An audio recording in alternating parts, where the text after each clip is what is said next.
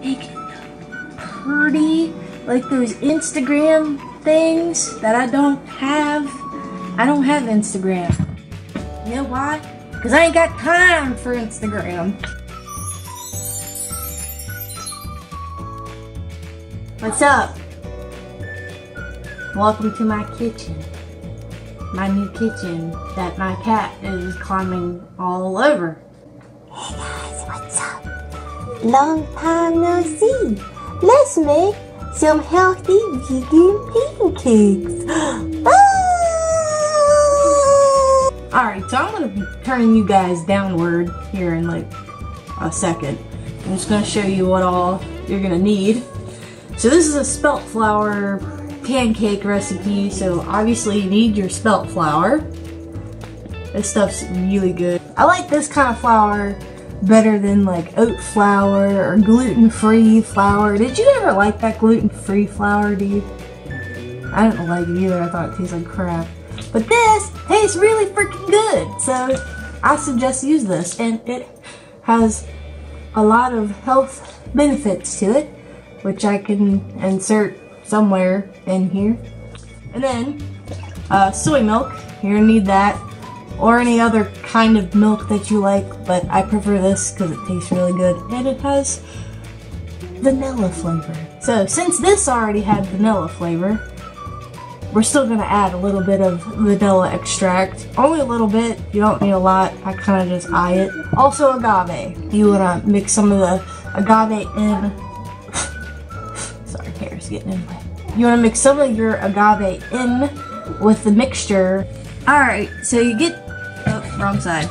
Alright, so you get your measuring cup. And, uh, I will normally fill it up to about one. Now this will make about probably two pancakes. I make my pancakes pretty big. Let's just, let's call that one. That back up.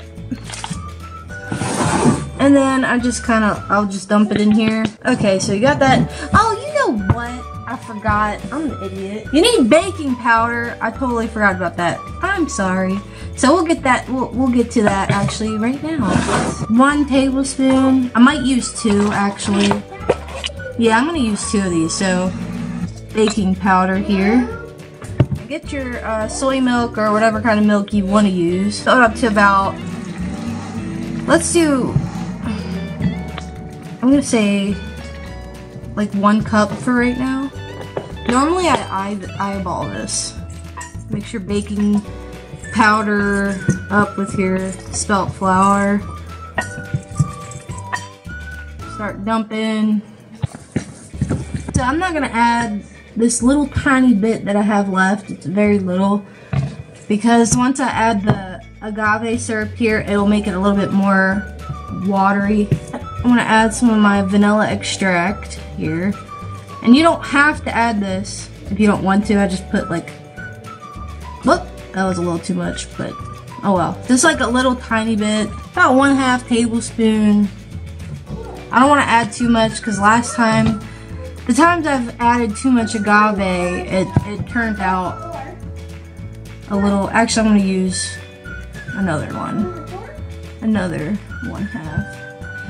That's good. Last time I've, I've used too much of the agave and it kind of makes it um, mushy and it doesn't make it fluffy. So you don't want to add too much of it. Alright, so I'm going to put a little bit of butter on.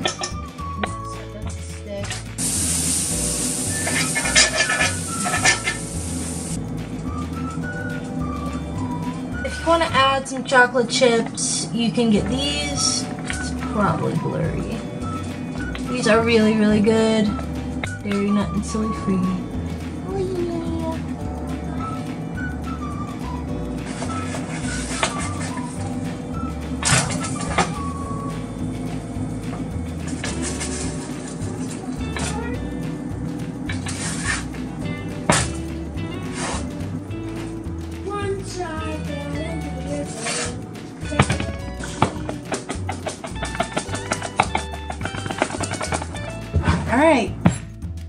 Try this pancake.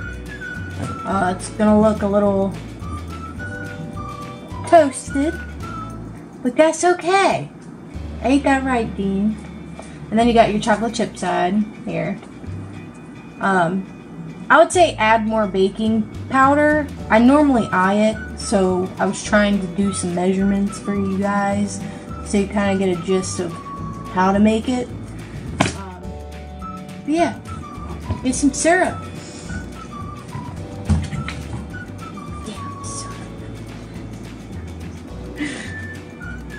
Make it look all pretty. Oh yeah, Dean. Make it pretty. Like those Instagram things that I don't have. I don't have Instagram. You know why? Because I ain't got time for Instagram. I barely have time to make videos. Just kind of rub, rub it in. Get a, get a bite out of there.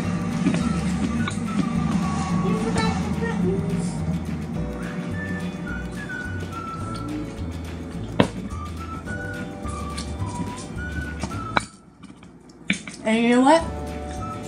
It tastes like a pancake. You want some? Eat it. Ew, I'm getting it on the, on, on the, oops. That's it for this video.